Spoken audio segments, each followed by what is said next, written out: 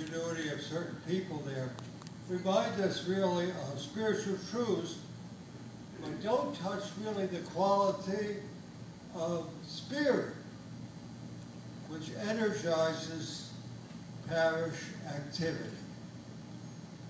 We talk about the, all this community business, and every time I turn the TV on, talk about community. The goal, the zeal, the energy, the goodwill of this congregation, I gotta tell you this in gratitude, made my serving them as administrator only a satisfying role. I was only there to help out. You don't mind. Cardinal, Cardinal, uh, Father Monsignor Crater said, Bill, you don't mind. Because as long as I had roller skates on, I didn't mind. so I went from pillar to post just to watch the store till somebody come in and rob the people.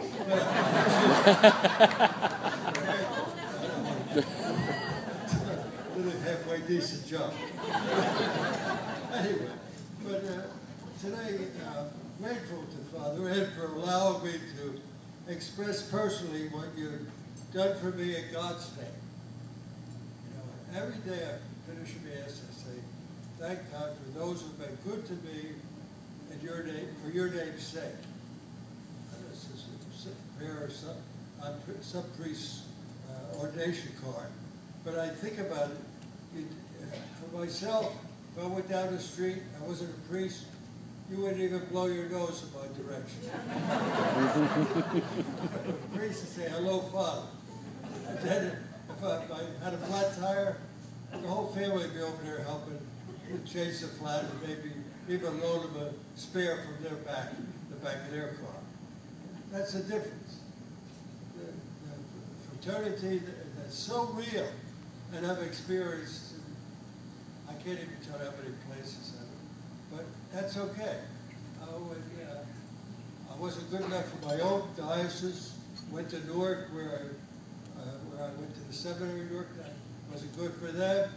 And so I figure, oh, I got an ace in the hole, my uncle teaches at the seminary, Dunwoodie in New York, or, or, uh, or uh, Cathedral College. I got a maid to shade. You got a big kid. So I ended up leaving uh, in Trenton. Of course, Bishop Griffin says, what in God's name has that got to do with you? You know, that you're, that would accept it.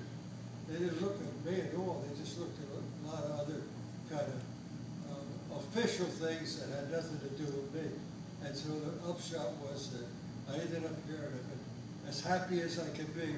And the mentality was, and it showed, I guess, I'm happy to where I go, I'm never going to ask to go anyplace, I'm never going to ask to leave any place.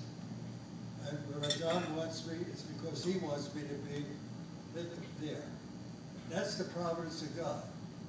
And you gotta, you gotta remember that yourself, because some of you are married because just by chance you met your husband, whether at work or at a dance, or they had a flat tire. you never know. A nice guy in the garage, you know what I mean? Or somebody and, and fix the broken toilet. yeah. But that's God. God draws straight with crooked lines. so on now when you cut your toenails.